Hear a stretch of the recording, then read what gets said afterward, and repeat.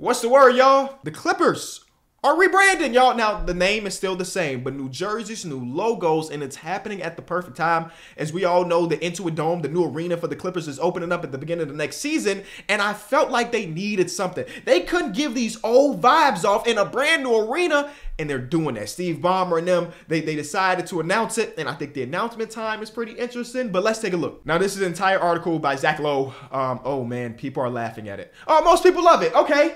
5,000 people love it, and there's 29 people that's laughing. And I got an assumption that the 29 people that are laughing are, are, are Lakers fans. Maybe not.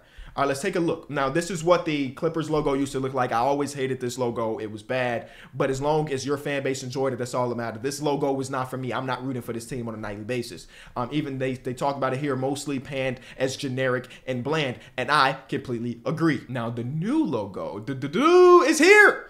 Uh, they completely buy into the name of a clipper. This is supposed to be a naval ship in the middle. Kind of gives off cruise ship a little bit, but I, I'm here for it. Um, I can't say that I love it. I'll be honest with you, but it's way better than this one, and that's all that really matters. This is so bad. This is a lot better. I actually like the global logo where you have the Los Angeles Clippers written out. I think this is beautiful. They're buying into the naval more than the baby blue, which I enjoy. This one I don't love. This one I'm, I'm here for. I'm here for. Again, as long as it's better than this, that's all you can really ask for. My main complaint is the main complaint I have about majority of sports logos, so I'm not going to beat a dead horse, but they come off as too minimalistic and they're very safe. And again, I understand it, right? You'd rather have every one of your fans be, very, be very neutral about a logo versus 50% of fans hate it and 50% of fans love it. You know, so I understand being very neutral, but the circular minimalistic logo has been overdone. And I just would love for a team to say, hey, we don't really care about keeping it uh, traditional at this point. Let's go back to what logos used to look like. You know what I'm saying? Maybe that's just the old head of me. Let's get to the actual court. The court, I enjoy this. I enjoy this court. Uh, I read an article about the lighting that they're putting together in the Intuit Dome, and I think that these colors will pop a little bit, so I'm here for that. Uh, the, the jerseys are cool. I don't hate the jerseys. Again, it's still minimalistic, but I actually think that's okay. The white jersey I like a lot. I think that the script that they give these jerseys is perfect. I cannot complain about that whatsoever. Now, this one I don't love. I, I, don't know exactly what it is about this jersey. Maybe Kawhi Leonard's not a good model. James Harden look enthusiastic. Kawhi Leonard doesn't. But I don't love these jerseys. But the red, we gonna get to this red. This is the one. If I was ever gonna get a Clippers jersey in my life, it would be this one. I don't think I will, unless one of my favorite players end up on that team. I, I, I don't think I will, but if I was gonna do it, it would be this one. So I think overall they did a really good job, all things considered. I would give this entire rebrand like a B to B plus, honestly. I mentioned the timing.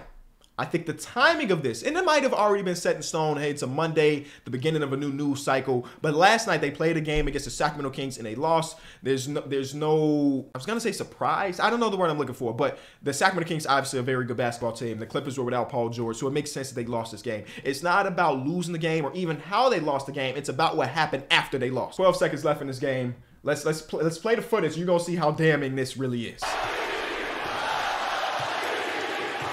Music to our ears from LA to Sacramento.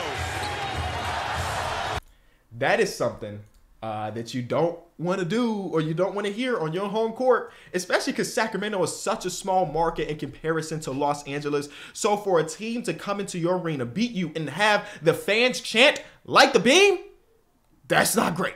Now, obviously, again, they get in a new arena now and the new jerseys and stuff, so maybe that'll change. It'll flip on his head. But the market size between Sacramento and Los Angeles is pretty. There's a huge gap there, so you don't want this type of stuff to happen. Now, when you see like a Lakers versus Clippers, it makes sense that the Lakers fans are going to outnumber them because no matter what you think, it is a reality that Los Angeles is a Laker town, and it has been, and it probably always will be. You know, so it, it makes sense that it's going to be more Lakers fans than Clippers fans in a game where they're heading against each other. But Sacramento versus Clips?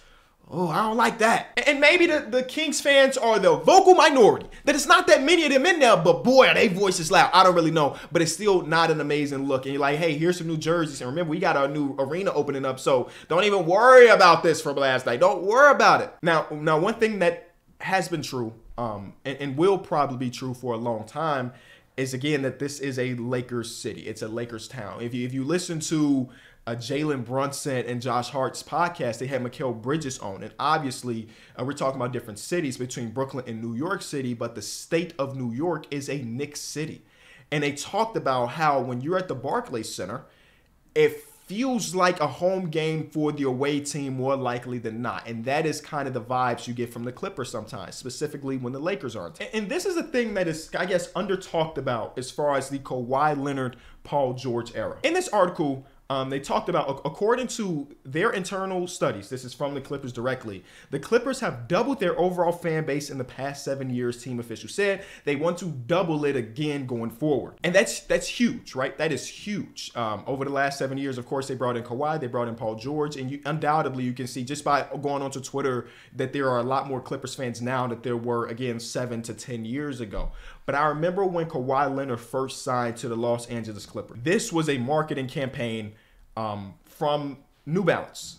This is his city. And one thing that has been under talked about in this era is that they haven't been able to market the players that are Kawhi Leonard and Paul George to see more of a growth. Again, seven, like doubling your fan base in seven years is huge but I feel like it should be more considering how good Kawhi Leonard is and how marketable Paul George has been throughout his entire career. Again, he's good at basketball too, but PG had his own signature sneaker. Um, uh, uh, Kawhi Leonard has his own signature sneaker. Like it should be way more fans there. Part of that is during the Kawhi Leonard era, those guys had played 36% of their games together until this year. So it's hard to grow a fan base when you're tuning into a Clippers game and it's Kawhi or Paul George instead of Kawhi and Paul George. Again, we're seeing that change now. Even Kawhi Leonard, after this game, he was asked about why he's playing more. He was like, hell, I didn't tear my meniscus. I didn't tear my ACL. So I'm actually healthy, right? That plays a huge, huge part of it. But over the last five years of it being Kawhi Leonard and Paul George, we haven't seen them bridge that gap to their fan base as much as you would expect it. And it was one of the reasons why they, they knew that they had to get out of Staples slash crypto.com arena. And if it was to ever flip on its head, that somehow Los Angeles becomes a Clippers town. It probably won't happen in our lifetime.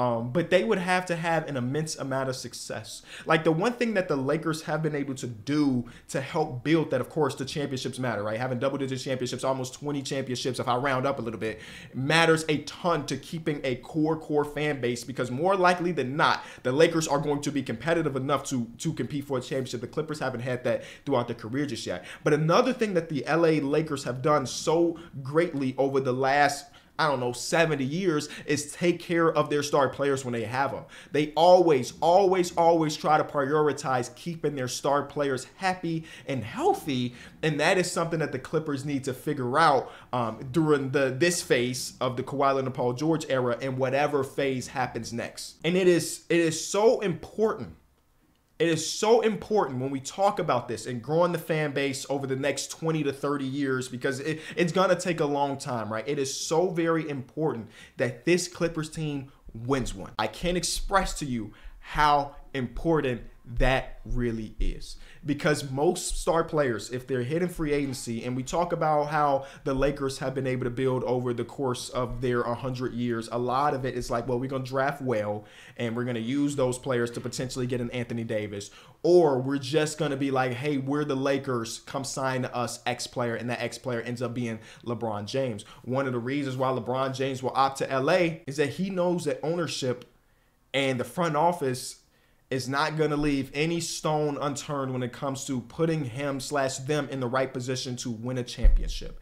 And the Clippers need some jewelry for the next generation of stars that might hit free agency to think about the Clippers. Nets fans, close your ears here. close your ears here because you're not going to want to hear this.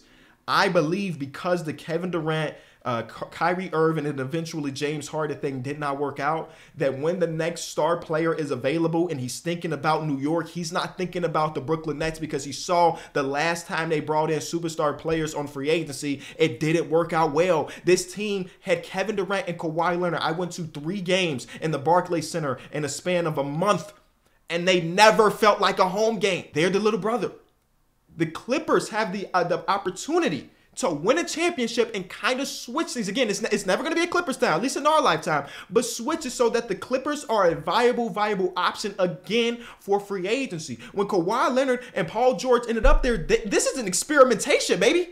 This is experimentation, just like when you saw Kyrie Irving look at Kevin Durant in his eyes and say two max spots when they were in Chicago for All Star Weekend. It was an experimentation because Brooklyn had not been a team that was been competent enough to compete for a championship. We can be those guys to do that.